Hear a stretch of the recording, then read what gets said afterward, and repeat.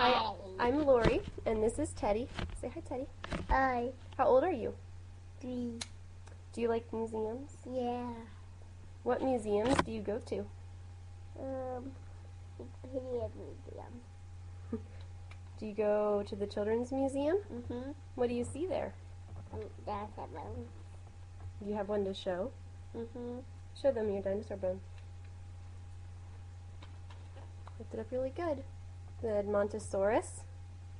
What other dinosaurs have you seen there? Um, Clipposaurus. Really? Mm-hmm.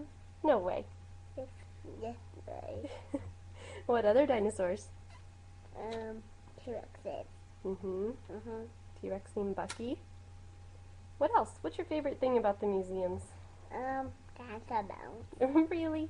Uh-huh. Did a paleontologist give you this? Uh-huh. Do you remember his name? Um, Wikipedia. Wikipedia.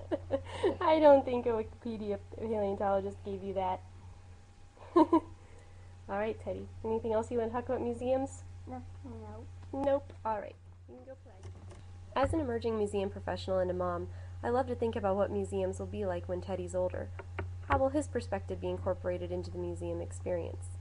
For years, museums have discussed how to better include the community's voice in the interpretation of culture, and we all know the social web to be an incredible tool for making this happen. We've been experimenting with a lot of participatory digital experiences, but now we have to use those visitor contributions in a meaningful way in exhibits. Visitors' contributions shouldn't be on the periphery, but should be reworked into the core of museum interpretation. Just as the web has become more social, it has also become more open. This is a core issue in digital humanities today. In the coming years, museums, libraries, and archives will have more pressure to consider what of their copyright policies are overly restrictive and unnecessarily preventing reuse. Museums will need to reconsider the role of control versus stewardship in order to remain relevant and accountable to the public.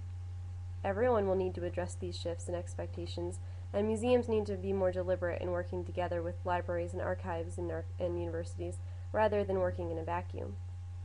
The museums who will thrive will be those that work more closely with universities' archives and libraries in much broader contexts than the typical one off projects and programs. To make these changes, I don't think it's necessary to diminish the role of those professionals already in the field. I regret the negative view of museum studies graduate programs. It's useful for up and coming museum professionals to have a solid foundation in the theories and issues present in the field. My museum studies program introduced me to the landmark articles in our field that are moving us forward and led me to connect with the museum professional community in ways I never would have on my own. That's not to say that unique perspectives don't have their place, but it should not be at the expense of those with strong theoretical backgrounds in museum studies. Together, we can contribute to, um, to we can all continue to build on the conversation and progress.